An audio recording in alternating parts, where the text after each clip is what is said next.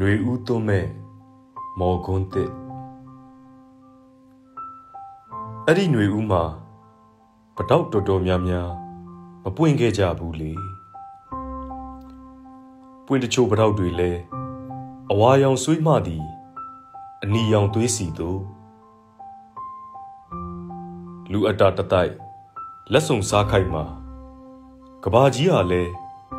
23နှစ်ပိုင်းတစ်ပိုင်းထက်ကိုပူလို့တိမ်ဆောင်သွားခဲ့တယ်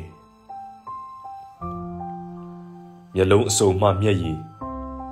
တစ်စက်တလီမကြံတော့အောင်ဟိုခဲ့ရသူများလုံသားတွေကြည်မွလွင့်စင်ဘဝတွေဟာ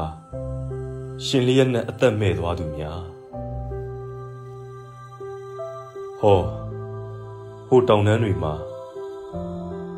ဟောဟိုမြေပြန့်တွေမှာပစ္စုပန်ဝေဝါးသွားတဲ့မိဘတွေကအနာဂတ်ပြောက်ရင်သွေးတွေကိုခြိပိုးရင်းပေါ်ကြသွားတဲ့စိတ်ဓာတ်တွေကမြေအမာနဲ့ရိုက်ခတ်အမြင့်ဆုံးစီပြန်တက်ကြပြီမတိုင်ပင်ပဲ တန်ပေါင်းများစွာသောရင်ဘတ်တွေထဲမှာတူညီသွားတဲ့ဆုံးဖြတ်ချက်ကတော်လှန်မှရတော့မယ်တဲ့တဖို့ဟန်ပြင်လာသူတွေကိုမတက်ခင်တေပြလိုက်တဲ့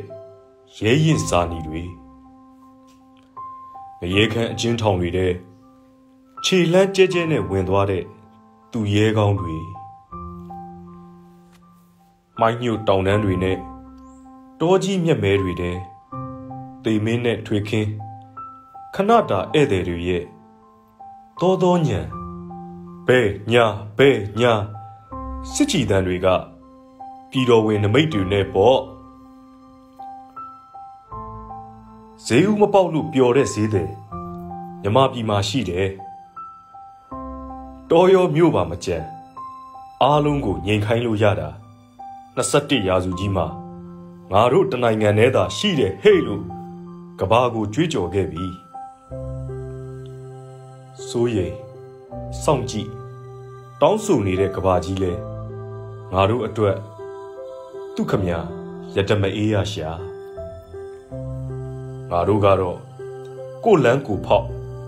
ကိုစခန်းကိုရောက်ခဲ့ပြီလောကပါလာစစ်တလင်းမှာစစ်မိတ်စာဏီကုန်း22မှာအဆုံးသက်လို့အောင်ပွဲရဲ့တေးတံတွေ ຫນွေဦးရဲ့ကောင်းကင်ရက်မှာဝဲလို့ပြန်ဘဝညံလို့မြင်မင်းသား